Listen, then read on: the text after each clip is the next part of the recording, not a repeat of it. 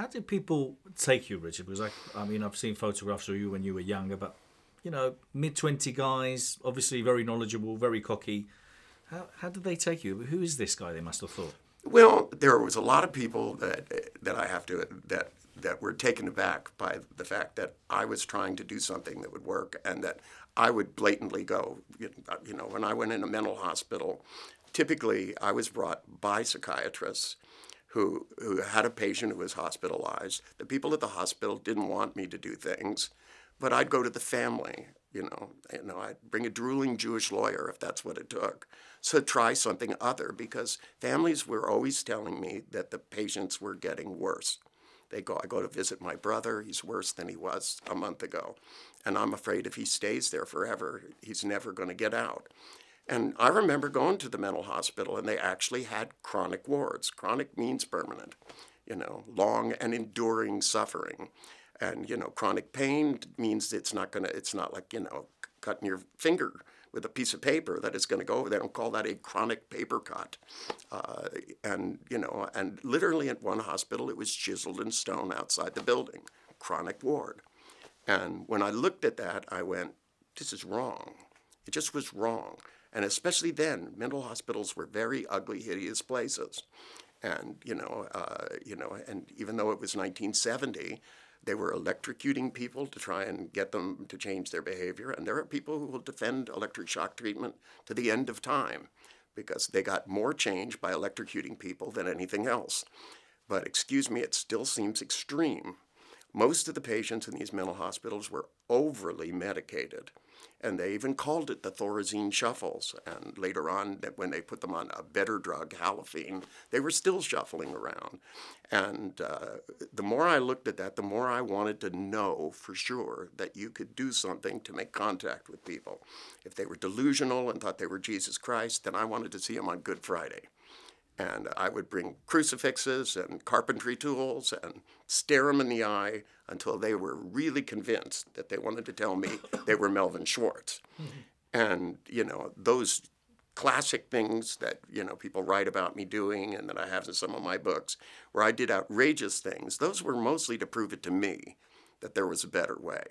So over the years, we've slowly built a technology, and it's a large technology. And I know in the group I'm doing here, this woman came up to me today on the stage and she said, ah, I, am a psychologist. Like that, like the fact that I make fun of psychologists means it's bad. And, and I said, and I'm the person that's trying to provide this field of psychology, the field of education. In fact, I have things for the field of architecture. Uh, I have all kinds of learning programs. I've developed learning programs for the military that anywhere people are in a position where they can get smarter at what they do, even baseball. I've tried really good baseball players and designed baseball programs for people to learn to be better baseball players. Once I understood that there was a mental process that worked, you don't study depressives to find out about depression because unless you want to depress other people, they haven't got any information. You study happy people and find out what happy people are doing and teach the depressives to do it. You teach the people that don't know which things are fantasies to have a different way inside their mind of knowing what they fantasized versus what really happened, and they'll start to sort it out.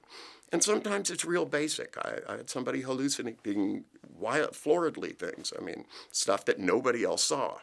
And, you know, let's face it, there's a lot of ideas that people share in common, which I don't. You know, there are a lot of people that believe in that I don't. You know, there are people that tell me that there are conspiracies going on and there'll be 50 people in a room all agreeing that, you know, there are gigantic conspiracies going on, that the United States government could keep a secret well enough to keep the secret that they'd had contact with aliens. I'm afraid the people in the White House can't even keep secret what they're doing yesterday. Uh, you know, I just don't see this as you know something I agree with. But we don't lock those people up. We don't lock up people because they have a religious belief. Uh, not in America, not in England. We go if you want to believe that, go ahead and believe it. And but if you have one one person believes things like that, you know, there's an angel in their closet, and their parents go and say there's no angel in the closet, they'll end up thinking they're crazy. Me, I check the closet first. It's the first place I do. Because I had a little girl that they thought was uh, mentally having problems, and she kept saying she talked to an angel in the closet. And when I went over her house with her psychiatrist, I looked down to her and I said, I do have a question about your angel in the closet. And she said, What? I said, Which closet? And she goes, That one over there in the hallway. I said, Okay, show me. And she went over, and there was a little doll, a little angel doll, and he pulled the string and it talked. She had been in therapy already for eight months, and nobody looked in the closet. And see, to me, when, when somebody tells me there's a, a, an imbalance in somebody's system and that the reason a depressive has a mental imbalance, I want blood tests. I want to see what's out of whack. Because, you know, I've had people that hallucinated because their potassium's too low. And whether it's, you know, that they need to eat more bananas or they need vitamins or, or they need to have black lines around their fantasies, I'm not picky. I just want ways that people can do things better.